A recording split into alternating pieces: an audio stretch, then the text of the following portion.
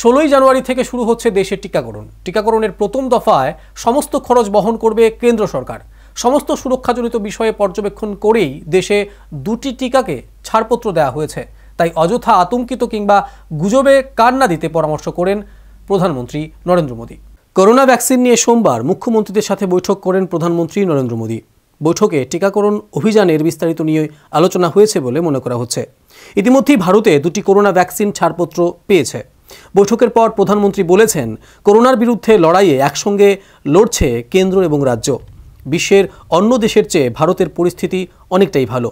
পরিস্থিতি ভালো হলেও দায়িত্ব জ্ঞানহীন হলে চলবে না। করোনার বিরুদ্ধে পরবর্তী পর্যায়ের লড়াইয়ে, অর্থাৎ ভ্যাকসিনের পথে ভারত। ষোলো জানুয়ারি থেকে দেশ জুড়ে করোনার টিকাকরণ শুরু হবে। যে দুটি ভ্যাকসিন অনুমতি দেওয়া হয়েছে, দুটোই মেড ইন ইন্ডিয়া। আরও ভ্যাকসিন এলে ভবিষ্যতে আরও পরিকল্পনা করা হবে। 16 जनवरी से हम दुनिया का सबसे बड़ा टीकाकरण अभियान शुरू कर रहे हैं। ये हम सभी के लिए गौरव की बात है कि जिन दो वैक्सीन को इमरजेंसी यूज़ ऑथोराइजेशन दिया गया है, वो दोनों ही मेड इन इंडिया है। इतना ही नहीं, चार और वैक्सीन प्रोग्रेस में है। और ये जो मैं करीब साठ, सत्तर परसेंट काम पहले राउंड का होने के बाद बैठने की चर्चा इसलिए करता हूँ कि उसके बाद और वैक्सीन भी आ जाएगी। और जब और वैक्सीन आ जाएगी तो हमें फ्यूचर का प्लान करने में वो भी एक बहुत बड़ी सुविधा रहेगी। और इसलिए सेकंड पार्ट इसका जो है, जो हम 50 से ऊपर वालों के लिए जाने वाले हैं, तब तक शायद हमारे पास और भी कुछ वैक्सीन आने की संभावनाएँ हैं।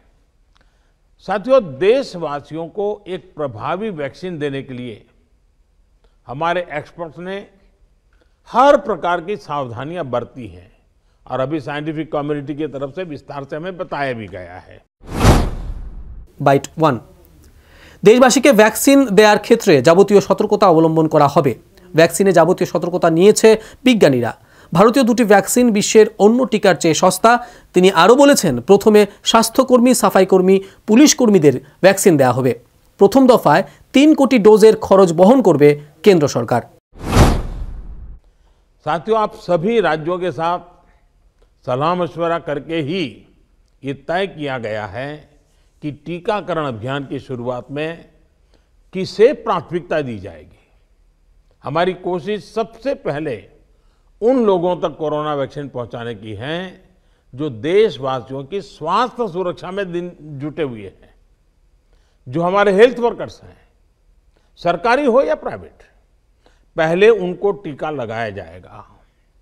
इसके साथ साथ हमारे जो सफ़ाई कर्मचारी हैं, दूसरे फ्रंटलाइन वर्कर्स हैं, सैन्य बल है, पुलिस और केंद्रीय बल हैं, होमगार्ड है, डिजास्टर मैनेजमेंट वॉलेंटियर समेत तमाम सिविल डिफेंस के जवान हैं, कंटेनमेंट और सर्वेलेंस से जुड़े रेवेन्यू कर्मचारी हैं, ऐसे साथियों को भी पहले चरणों में टीका लगाया जा रहा है। देश के अलग अलग राज्यों के हेल्थ वर्कर्स, फ्रंटलाइन वर्कर्स की संख्या देखें तो एक करीब करीब तीन करोड़ होती है। ये तय किया गया है कि पहले चरण में इन तीन करोड़ लोगों को वैक्सीन देने के लिए जो खर्च होगा वो राज्य सरकारों को वहन नहीं करना है भारत सरकार इसको वहन करेगी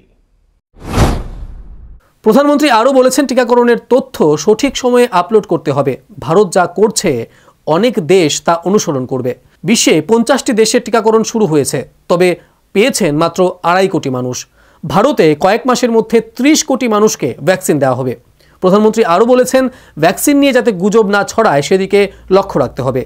দেশের নয়টি রাজ্য ইতিমধ্যে বার্ড ফ্লুর সঙ্গে লড়াই করছে। বার্ড ফ্লু নিয়ে স্থানীয় প্রশাসনকে কড়া নজর রাখতে হবে। বার্ড ফ্লু নিয়ে যাতে কোনো প্রকার গুজব না ছড়ায়, সে বিষয়েও আলোচনা করেন প্রধানমন্ত্রী।